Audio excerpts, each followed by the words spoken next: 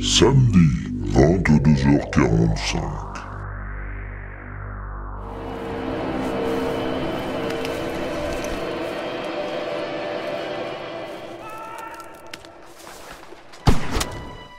Coïncidence ou pas, alors que Courmétrange jette un regard ému et nostalgique sur le cinéma fantastique italien, voici que nos amis de Trieste nous proposent une agréable sélection de productions courtes.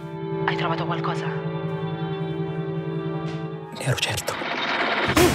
La preuve en quelques films vigoureux et d'influences diverses que l'insolite, l'étrange et le fantastique sont encore d'actualité dans ce pays magnifique, berceau de grands créateurs inspirés et inspirants.